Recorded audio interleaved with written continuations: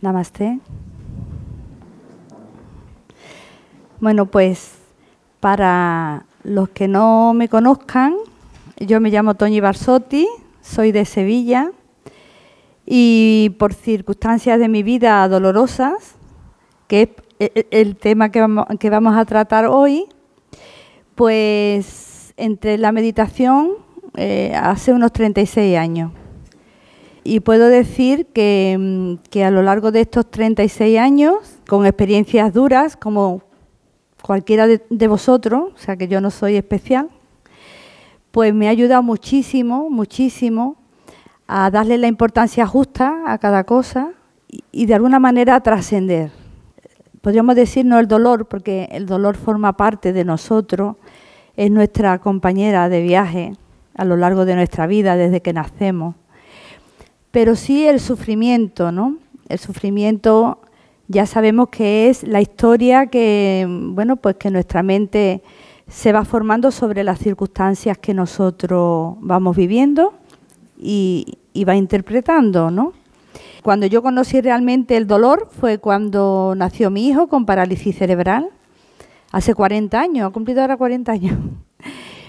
La experiencia, yo tenía 22 años, mi marido 23, y, la verdad que nos, sobrepasó. Yo llegué a, meterme en un pozo tan profundo porque mi mente, en vez de estar en el presente viendo la realidad, lo que hacía era irse al futuro pensando que, bueno, que mi hijo iba a ser un vegetal, ¿no? Y entonces era tal el sufrimiento, bueno, pues que la mente no sabe distinguir la fantasía de la realidad en estos momentos, ¿no? Y entonces lo sufría como si realmente hubiera llegado ese momento, ¿no? De, que mi hijo era un vegetal y tal.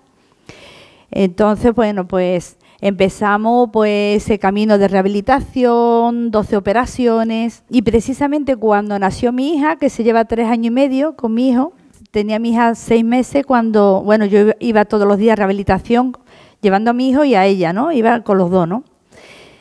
Pues fue cuando toqué fondo totalmente. O sea, toqué fondo que en muchas ocasiones he dicho que se me olvidó leer, el pensamiento del suicidio lo tenía muy presente durante mucho tiempo.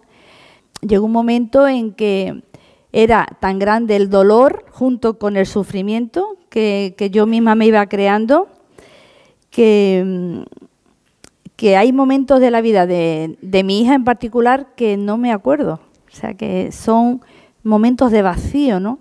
Mi hijo entró en el Colegio del Valle, en Mairena de la Jarafe. Estando allí, eh, empezamos mi marido y yo en, una escuela de psicología y pedagogía, porque intentábamos de, equivocarnos lo menos posible eh, con un niño con discapacidad, que sabemos que los padres nos podemos ir a los extremos, o abandonarlo o, mimarlo demasiado, ¿no? Lo que intentábamos era, pues, eh, llevar una vida lo más equilibrada posible para que fuera beneficiosa para mi hijo, ¿no? Y bueno, pues empezó a darnos esos cursos un sacerdote jesuita que se llama Rafael Navarrete. Él fue el que me inició a meditar y yo siempre recuerdo que me decía Toñi, porque bueno, yo me hice drogadicta de la medicación, yo estaba con psiquiatras y, y me acuerdo que decía, Toñi, una meditación o una pastilla. Eso me acuerdo muchísimo lo que fui consiguiendo era que poco a poco iba encontrando como unos espacios de, mm, paz. El proceso de, meditar es, eh, bueno, tienes que crearte un hábito y un esfuerzo, o sea que ahí no existe milagro, o sea que nos lo tenemos que trabajar nosotros, ¿no? La prueba de fuego era cada vez que mi hijo se tenía que operar. Entonces, al principio parecía yo como que recaía otra vez, volvía otra vez para atrás. Ahí fue donde también me fui dando cuenta de, que la circunstancia realmente no era lo que a mí me estaba haciendo sufrir. El dolor había sido cuando nació mi hijo y tal, pero que ahora ya el sufrimiento que yo iba teniendo y lo que me provocó eh, el entrar en ese pozo fue realmente los pensamientos que yo iba generando cada día y, además que me los creía, o sea, que el problema no era que, estaba ahí en mi mente, sino que yo me creía esos pensamientos de lo que estaba pasando. Yo recuerdo de la primera operación que tuvo mi hijo a la última, eh, me, vi yo la evolución, de darme cuenta de que cuando él estaba en quirófano y yo estaba meditando delante de todo el mundo, de la sala de, espera y tal, eran momentos que yo me, era consciente de decir, no ve, Toñi, si no son las circunstancias las que te hacen que sufra, es lo que tú estás pensando sobre esas circunstancias, ¿no? La meditación es experiencia, es conocer a Dios no por lo que me han contado ni lo que he leído, sino porque cuando yo conecto con mi paz interior, es Dios. Y entonces esa paz eh, hace que se desplieguen pues eh, muchos dones que tenemos en nuestro interior, como es eh, la empatía hacia ti primero y después hacia los demás, la compasión. La compasión es eh, acompañarte en el dolor, no la creencia que hemos tenido durante mucho tiempo, que es que yo estoy aquí y, y estoy por encima tuya y te tengo pena. Eso no es la compasión sana. La compasión sana es que estamos al mismo nivel. Yo te acompaño en tu dolor, pero es que también esa esa compasión la necesitamos para nosotros mismos, para ir superando esos baches que tenemos, esas circunstancias tan, tan duras que van surgiendo en la vida. Eh, intentar de ser los mejores amigos de nosotros mismos, no, no los enemigos, sino los mejores amigos. Y cuando hablamos del tema del dolor, se vive de otra, se vive de otra manera cuando tú estás meditando, porque ves las cosas como, eh, como una perspectiva más amplia, ¿no? Eh, esto es un proceso que, vivimos cuando venimos, que esto es, pues podríamos decir que es como una obra de teatro, que cada uno estamos representando un papel, que nuestra evolución está basada en el dolor, porque cuando no nos ocurre nada especial, pues la verdad es que no nos planteamos tantas cosas, ¿no? Como cuando pasamos una situación difícil, que es cuando decimos, ay, Dios mío, échame una mano, ¿no? O sea que a mí me ayuda muchísimo. En la última revisión que tuvo mi hijo, pues los doctores se quedaron un poquillo asombrados porque empezaron a decir, bueno, pues, bueno, Jorge, mm, pues tus, eh, tus piernas van cediendo, mm, quiere decir que quizá tengamos que poner unos aparatos especiales. Y mi hijo, mi marido y yo así. así. Y decía, bueno, perdona, yo creo que no me estáis entendiendo. y además Jorge ha aprendido, ha aprendido que, que cuando no puede hacer una cosa porque se va limitando, ya no piensa en eso. La última vez que fuimos le dice, mira Jorge, no puedes hacer el tenis adaptado porque las rótulas se te han desplazado. Y dice, ah, vale.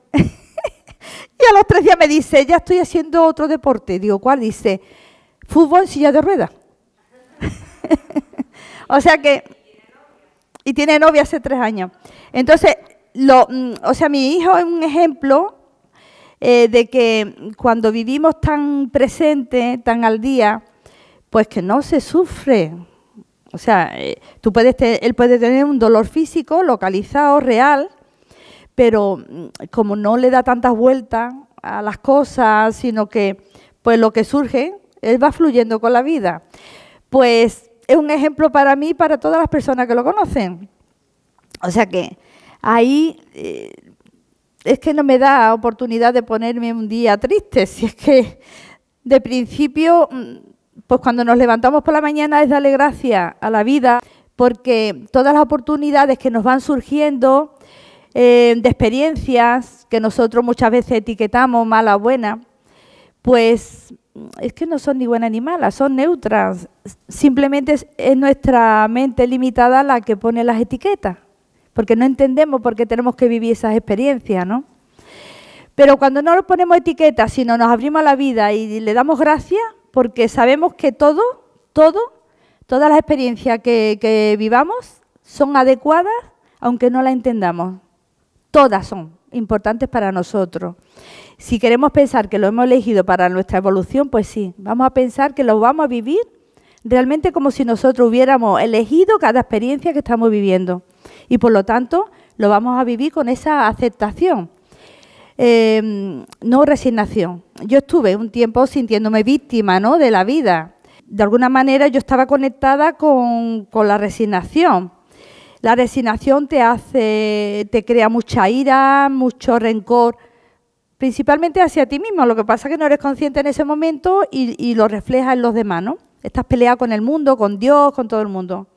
Cuando tú te das cuenta de que realmente lo que estamos viviendo son regalos, regalos que muchas veces vienen como en un papel muy feo, pero que realmente nos aporta una gran experiencia para nosotros mismos y para ayudar a otras, a otras personas y, comprenderlas, ¿no?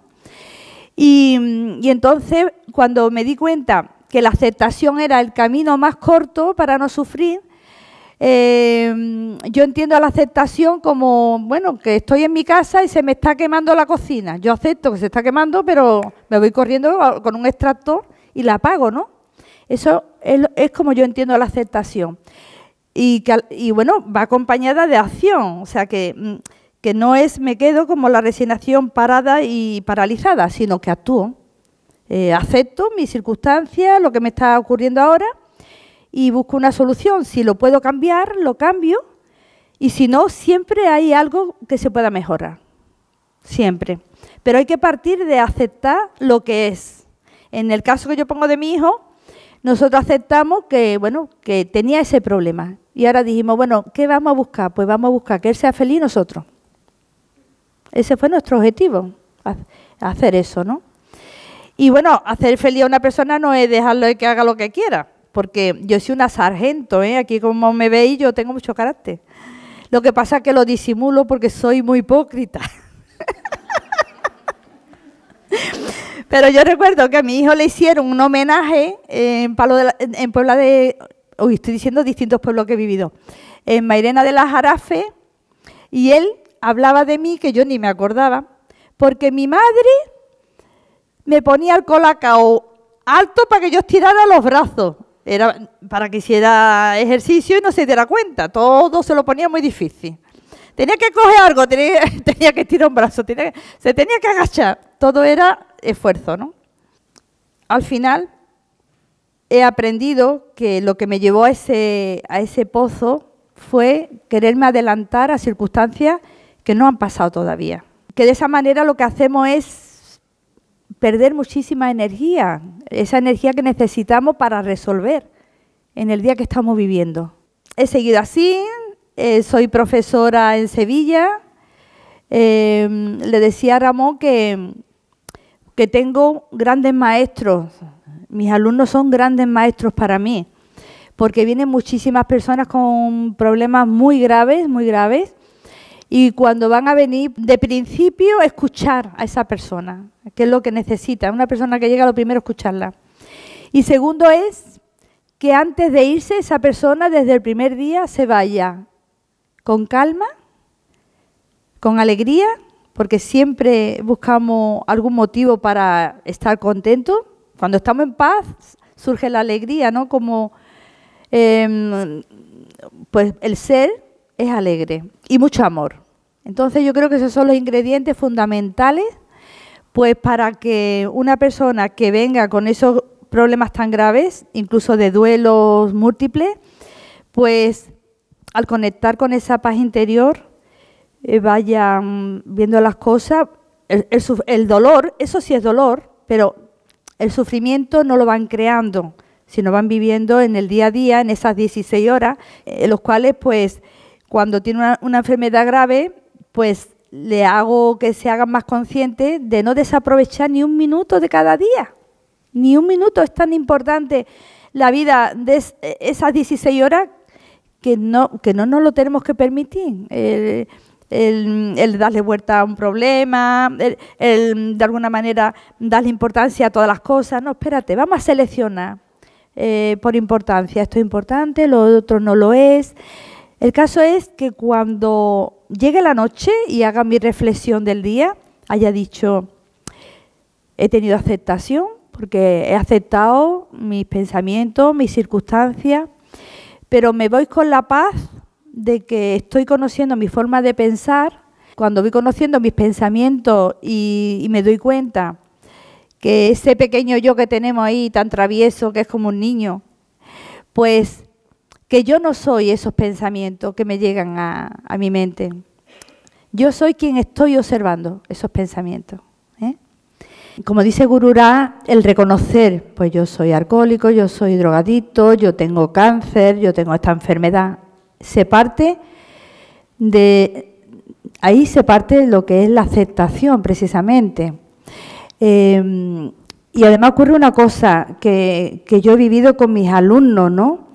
De personas que, bueno, con, con un cáncer y que están en tratamientos experimentales, pues me han llegado a decir que ahora son más felices que cuando no estaban enfermos. Porque eh, su vida se limita al día a día y a, ser agradecido con la vida o con Dios por los regalos que le va a traer hoy. Entonces, vive más intensamente cada día. También una cosa que ocurre es que durante nuestra vida vamos posponiendo circunstancias, eh, relaciones que no son buenas, eh, y bueno, pero cuando llega una enfermedad de esa nos planteamos muchas cosas. Nos planteamos, bueno, ¿y por qué voy a estar sufriendo el tiempo que me quede de vida? Pues yo tengo que resolver o aceptar lo que estoy viviendo. Porque si tú no aceptas una circunstancia, vamos a pensar en una enfermedad. Eso genera pues otra, otro problema, otro problema. Entonces, cuando en este caso eh, algunas alumnas me han dicho, mira, Toñi, yo tenía problemas con mi pareja, no sé qué, no nos entendíamos. Eh, yo he empezado a darme cuenta de que yo soy la que de alguna manera estoy interpretando cosas o exigencias, no estoy viendo a la persona real, sino estoy viendo, quiero ver la persona que tengo en mi imaginación, no es la persona que realmente es. Entonces, llegan a quitarse muchísimos velos eh, de la mente y a vivir eh, de forma más objetiva eh, con sus familiares, su trabajo y cualquier cosa que nos parezca pequeña, la experiencia para cualquiera de nosotros, ella o ellos lo viven intensamente porque piensan de verdad que a lo mejor hoy es el último día y, bueno, pues el que me digan, mira Toñi, es que de verdad, de verdad que estoy viviendo lo mejor, estoy, estoy viviendo con conciencia, que me he llevado muchos años pues trabajando en algo que no me gusta, em, eh, pues de alguna manera vegetando la relación, que no, que no, que yo ya no estoy por eso, yo estoy por, por ser feliz eh, cada día, y, bueno, ha llegado incluso a sucederme de mm, alumnos, había un curso con tres o cuatro personas, y uno de ellos pues tenía esclerosis múltiple, ¿no? Pues al principio cuando empezó a venir, pues incluso tenía un poquillo de dificultad, no un poquillo mucho, para subir la escalera, en fin, que yo le propuse de hacerlo abajo en el salón y él me dijo, no, no, no, yo mientras que pueda voy subiendo, en fin. Eh, venía con unos ojos muy tristes, un chaval joven, eh, unos ojos muy tristes, muy bonitos, negros, pero muy tristes. Y mm, bueno, pues cuando finalizó el curso, porque nosotros también tenemos unos momentos de mucho sentido del humor, ¿no? Dentro de, eh, de, la clase, yo intento de meter, bueno, pues lo que es el sentido del humor, irracional, respetuoso. Entonces hay veces que me dice, estás loca, Toñi, estás como una cabra. Y digo, pues sí, es verdad, me encanta estar como una cabra, ¿no? Entonces, este chaval llegó a darle unos consejos a otro chaval que, bueno, en apariencia no tenía ningún problema de nada, un buen trabajo, mm, guapísimo, em, una, familia preciosa y estaba mm, deprimido totalmente y me dice a mí, ¿y Toñi qué voy a hacer? Digo, a mí no, se lo preguntas a él. El maestro de la vida ahora mismo es nuestro compañero, el que tenía esclerosis múltiple. Le dio una lesión con serenidad y con sentido del humor al otro, chaval, que realmente eh, salimos de esa clase todos satisfechos eh, de ver que, que no es el problema en sí lo que nos hace sufrir, sino la historia que nos agregamos a las circunstancias. Si vivimos en el día a día, es una de las cosas que ahora tengo varios eh, alumnos que tienen esclerosis múltiple, incluso tengo también con personas que le han quitado un tumor de la cabeza y la parte izquierda no puede utilizarla en la memoria de corto plazo, ¿no? le tengo que escribir todas las cosas y eso. Pero cuando eh, empezamos a analizar y decir, bueno, no vamos a pensar lo que ya no podemos hacer, porque eso es fantasía y, vamos a crear sufrimiento. ¿Qué vamos a potenciar hoy? Lo que podemos hacer. Para mí, mi ejemplo es este científico que se ha muerto hace poco, ¿no?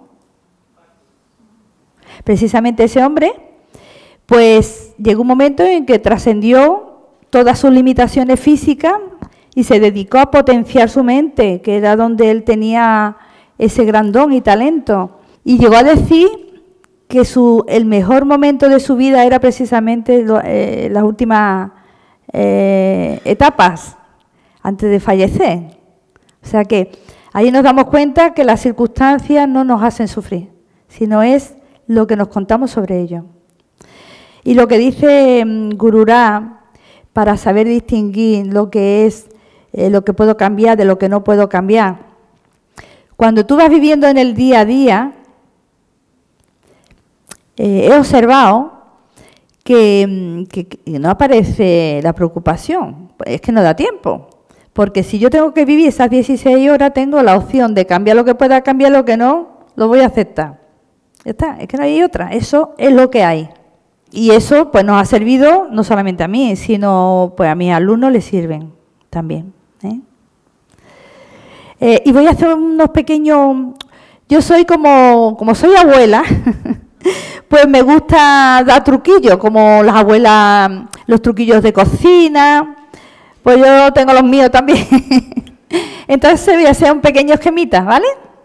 Entonces, la primera pregunta, ¿es verdad?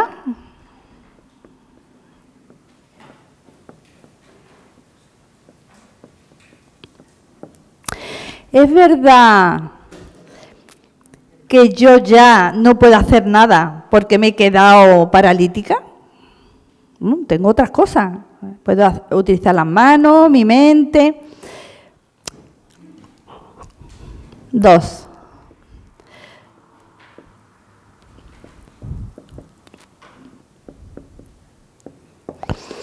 ¿Tengo la seguridad de que ya no voy a ser feliz por lo que me está pasando? ¿Ya no estamos poniendo al futuro? Y como estamos hablando que nos tenemos que centrar las 16 horas que estamos viviendo, pues tenemos que potenciar lo que hoy puedo hacer. ¿eh?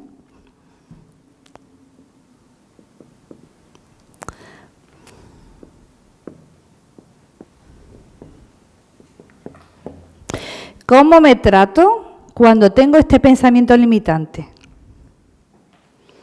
No estoy viendo las posibilidades que tengo, que puedo desarrollar. Me estoy centrando solamente en la parte negativa. Pero nosotros tenemos un gran potencial que podemos desarrollar. Muchas personas se quedan ciegas y siguen, eh, se le potencian los otros sentidos y siguen estudiando y haciendo cosas pues a través de, de los métodos que existen, ¿no?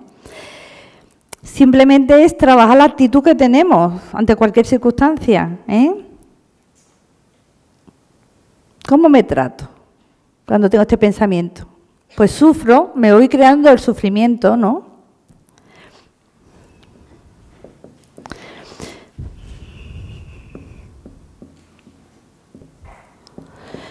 ¿Cómo trato a los demás? Cuando me siento que soy una mierda, que no soy capaz de hacer nada, que tengo una dependencia y, no, y me siento que de vez en cuando vuelvo otra vez a ella, pues, mm, pues lo pago con los demás, porque lo que nosotros nos damos a nosotros mismos es lo que le damos a los demás. ¿eh?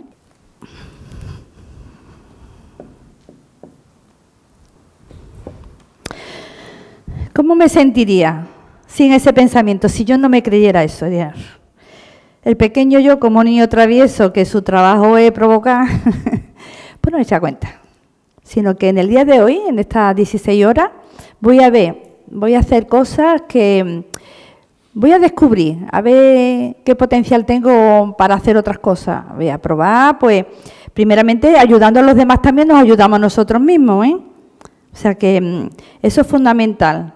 Eh, cuando nosotros hemos sufrido de alguna manera, que lo hemos hecho todo el mundo, pues realmente llega un momento que si hemos utilizado como un aprendizaje de vida, ¿no? El preguntarnos ¿qué puedo aprender de esta experiencia? Entonces realmente aprendemos y podemos ayudar a los demás, ¿no? Vamos desarrollando lo que es la compasión, la empatía, la paciencia, porque todo eso lo hemos desarrollado en nosotros. Por lo tanto, si lo hemos desarrollado en nosotros, pues también se lo vamos transmitiendo a los demás. ¿no? Cuando no me, no, me creo ese pensamiento limitante de que voy a ser desgraciado, sino que intento esas 16 horas descubrir cosas mías, que normalmente son cosas que, que muchas veces, bueno, muchas veces no siempre, nos vamos conociendo en el día a día. En la meditación, por ejemplo, nos ayuda precisamente a eso, a que cuando vamos quitando esas capas, vamos conociendo a esa persona, realmente al ser que está dentro de nosotros. Entonces ahí hay un campo extenso para conocernos y desarrollar, ¿no? Eh, estas preguntillas son para quitarnos eh, el sufrimiento, ¿no? Sino para aceptar lo que cuando es dolor, pero saber distinguir el sufrimiento del dolor. Voy a poner otra cosilla, ¿vale?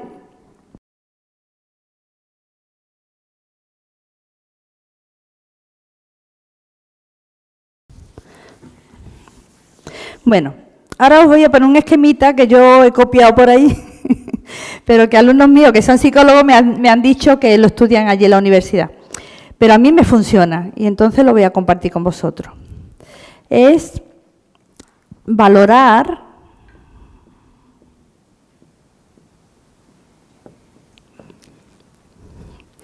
Vamos a valorar las circunstancias que estamos viviendo en esas 16 horas alguna cosa en concreto que, que nos pone, eh, nos asusta, en fin. Vamos a poner aquí, normal. Aquí vamos a poner menos bueno.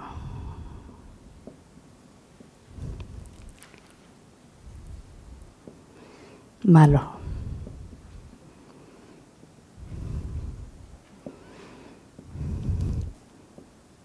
Muy malo y terrible.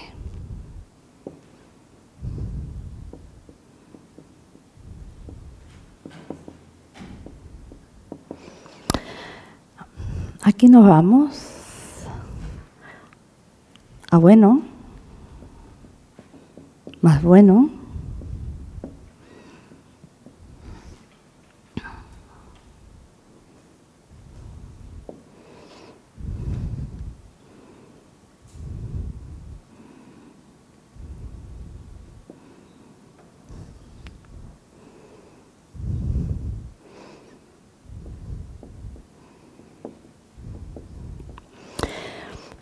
Este esquemita a mí me funciona. ¿eh? Entonces, de principio, en la vida muy pocas cosas pasan, terrible y genial. Eso ya lo descartamos. Eso ya hace que no le demos tanta importancia a las cosas. Yo voy a poner un ejemplo que a mí me ha servido esta valoración. Por ejemplo, el año pasado mi padre se murió antes de que yo viniera y cuando yo volví se murió mi madre, ¿no? Entonces yo esa situación la vivo normal porque bueno, pues cuando nacemos ya sabemos que nos tenemos que ir algún día. Pero lo vivo no solamente normal, lo vivo como bueno porque tuvieron una muerte digna y había hospitales. Si eso hubiera eh, sido, si hubiera sido en Siria o en cualquier otro sitio, pues quizás no hubiéramos tenido que poner quizás muy malo. Entonces, el valorar las circunstancias eh, que nos ocurre y en el sitio donde ocurre realmente nos ayuda muchísimo a darle la justa importancia. ¿eh? Entonces, la situación que yo he dicho de mis padres, pues yo lo valoro como bueno. ¿eh? ¿Por qué? Por eso, porque hay hospitales, vivimos en un país en paz, que no hay guerra y hay los medios necesarios para eso, para tener una muerte digna, ¿no? En el caso de mi hijo, pues, pues bueno, pues van surgiendo aparatos y cosas. Si, si fuera en, en África, pues resulta que pues yo me iría prácticamente a terrible, porque es que se mueren porque no tienen ni, qué comer, ¿no? Entonces aquí, en España, aquí no hay cosas terribles. Para mí sería terrible pues que mi familia entera muriera en un accidente, mm, que también está, forma parte de la vida. o sea que sería otra experiencia dura, de dolor, pero eh, forma parte de la vida, ¿no? Pero este esquema nos ayuda mucho cada día en esas 16 horas, pues a darle la justa importancia a las cosas. ¿eh? Cuando nos pongamos, uy, lo que me pasa, me voy al esquema, vamos a ver. Me hago primero las preguntitas, porque es una forma de ir quitando cosas, y después hacemos la valoración. Vamos a ver qué es lo que ha ocurrido realmente. A lo mejor resulta que hemos discutido con alguien 20 minutos y llevamos 5 horas peleándonos la cabeza con él. Entonces llega un momento que ampliamos la circunstancia como si fuera terrible. Entonces, em, cuando nosotros nos vamos centrando realmente en este tipo de esquemas y vamos dándole a las cosas su justa importancia, pues llegamos a tener lo que es el equilibrio mental, ¿vale? ¿Qué es este? Nos movemos ahí. Genial, muy bueno, más bueno, bueno, normal, menos bueno, malo, muy malo y terrible.